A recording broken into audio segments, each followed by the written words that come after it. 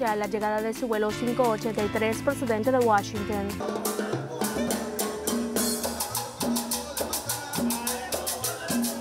¿De dónde nos visita? Eh, vinimos de Dallas, Texas. ¿Y hace cuánto no habían venido?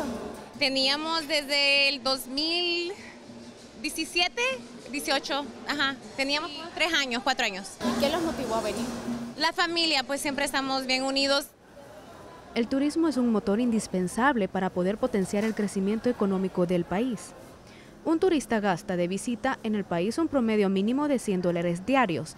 Si su estadía es de 15 días, da un resultado de 1.500 dólares que pueden contribuir a la economía nacional.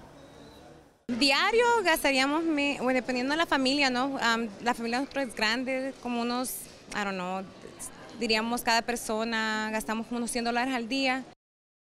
De enero a octubre del 2022, en cuanto al turismo, refleja 2 millones de visitas al país. 54% lo hicieron vía aérea y el 46% vía terrestre. Los principales países que visitaron El Salvador fueron Estados Unidos con un 47%, Guatemala con un 23%, y Honduras en tercer lugar con un 16%. En ese mismo periodo se generaron 2.077 millones en divisas, un 52% de crecimiento comparado con el 2019, lo que representa un 31% de la meta establecida para el 2022 según el Ministerio de Turismo. Escapar del frío infierno en Alemania y tener amigos en El Salvador. Ya estamos teniendo otro tipo de visitantes, porque ya no estamos, no estamos atrayendo solo la visita para ver a la familia, que era generalmente nuestros salvadoreños radicados en el exterior, sino que están viniendo con sus hijos, con sus nietos, con sus amigos, con eh, eh, colegas del trabajo, etcétera, y se están quedando más días. La seguridad es importante para el desarrollo turístico. ¿Cuáles son las razones por las que El Salvador se considera un país seguro?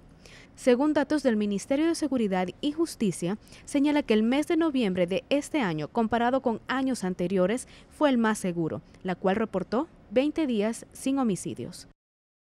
En cuanto a seguridad, ¿han notado algún cambio? Bastante. Desde que vinimos la vez pasada, ahora El Salvador ha hecho un cambio enorme. Estamos bien contentos y felices de estar aquí y sentirnos así seguros de caminar a la calle o a visitar pueblitos así que no podíamos visitar antes. Nosotros es bastante más caminar en la noche o salir al parque tranquilo. Estamos siguiendo todas las estadísticas de la entrada de las personas y esto nos va indicando que El Salvador va cada día mejorando, cada día hay más ingresos de gente extranjera también, salvadoreños que no habían venido en 10, 15, 20 años, hoy están queriendo venir.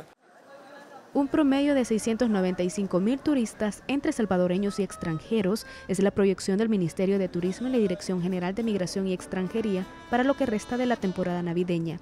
Y para el 2023 esperan más de 2.7 millones de visitantes. Claudia Martínez, TCS Noticias.